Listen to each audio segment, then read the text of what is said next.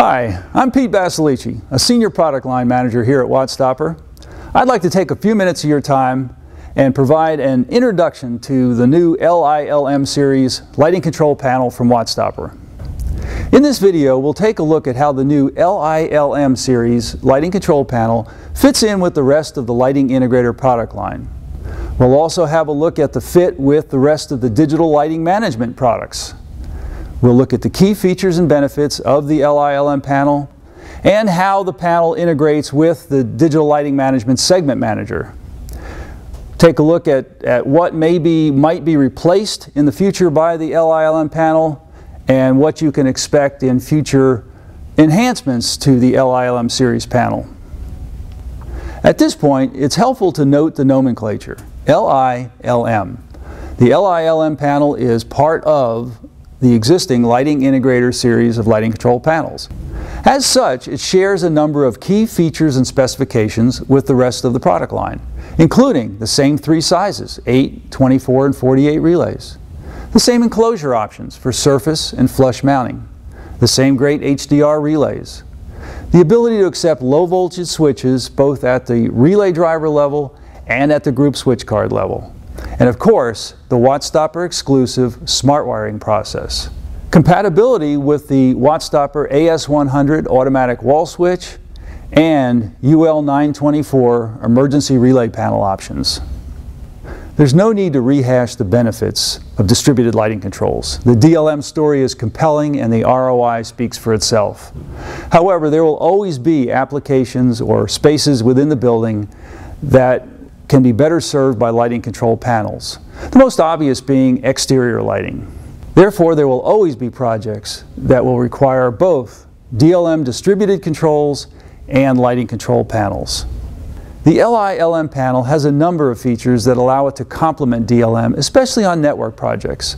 An integral user interface, RJ45 connectivity, compatibility with DLM digital switches and digital occupancy sensors, and networking with the segment manager, as well as BAS integration with third parties via BACnet. The panel's built-in user interface has an OLED display and keypad that allow it to be configured locally without the need for a PC or software. So while the panel still supports direct wired low voltage switches and analog occupancy sensors, the panel also has four RJ45 ports for connection of DLM digital switches and digital occupancy sensors. The LILM is also designed to seamlessly share the segment network with the DLM rooms. And the segment manager or the BAS. BACnet is standard with the LILM panel, making it capable of seamless integration to the building automation system. These three feature sets are what distinguish LILM from the rest of the LI panel line. Let's take a look at each with a little more detail. The user interface in the panel is quite similar in appearance to the LM CT100, the handheld commissioning tool for digital lighting management. While the appearance is complementary, the functionality is actually quite different. The UI in the panel is limited to setup features of the panel. However, the LMCT100 can be used to configure the DLM switches and digital occupancy sensors that are connected to the panel. More on that in a moment. The user interface is configured with a keypad and an OLED display. The keypad has a traditional back button and a home button that returns the display to the main menu. Navigation keys, left, right, up, down, allow you to move the cursor to the feature or the function that you would like to select using the center select button. The About function provides technical information about the panel. This can be useful when discussing the panel with WattStopper technical support. The Setup menu provides information that identifies the panel on the segment network, includes the BACnet panel ID and the MSTP MAC address. The status menu allows us to see the current status for the relays and the channels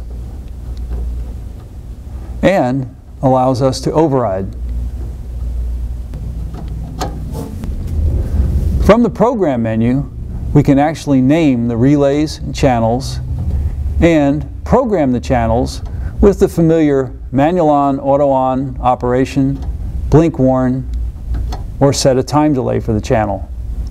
So there you have it. A few simple menus allow us to set the panel up without having to have a PC and software. Now let's have a look at smart wiring DLM digital switches and DLM sensors to control relays in the panel. The process of smart wiring is similar to what you are accustomed to using our older data line switches. Let's go ahead and smart wire a button to control some relays in the panel. I'm going to start with a pointed object like a pen. I'm going to press the config button on the switch. Notice that both LEDs on both buttons are blinking. Let's select the top button for smart wiring. I'll now select a relay in the panel for that button to control and simply press the config button again to cancel smart wiring. The top button now controls that relay in the panel. It's that simple.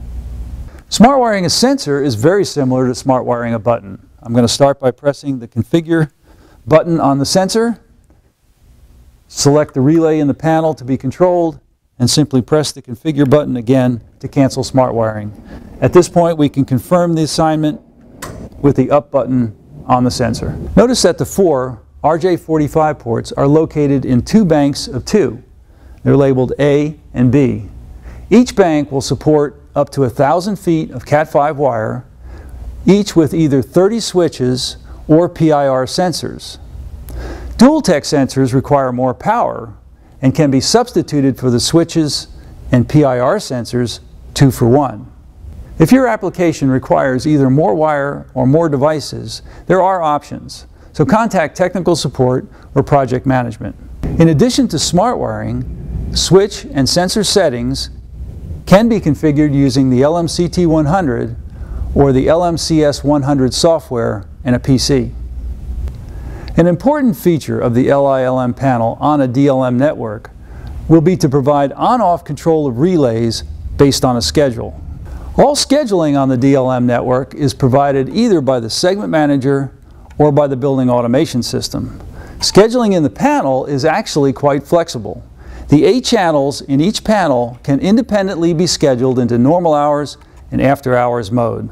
Alternately, individual relays can be scheduled on and off, which is ideal for outdoor lighting. So after discovery by the segment manager, the LILM panel appears in the tree view just like the DLM rooms and is represented by a green panel icon. Clicking on the panel provides access to the description field where a meaningful name for the panel can be entered. Note that this name will appear beside the panel icon in the tree. Expanding the panel in the tree provides access to the channels and to the relays. It should be noted at this point that unlike the room controller, the switches and sensors connected to the panel do not show up in the tree under the panel. A future version of the panel will provide access to these from the segment manager. Remember that currently settings can be made for switches and sensors using the CT100 or the LMCS software. Clicking on channels in the tree will display a list of all eight channels with their current status. Expanding channels in the tree provides access to the eight automation channels for programming and setup. Opening a channel, we can enter a meaningful name for the channel and set the channel parameters for blink warn, time delay, and auto on or manual on. These settings are virtually identical to their counterparts in the H-clock and the LIB panel. Another nice feature of LILM on this screen is the ability to force the channel into after hours or normal hours mode to test its operation. No more having to reset the clock repeatedly to run schedule tests. Clicking on Relays in the tree shows all the relays and their current on-off state.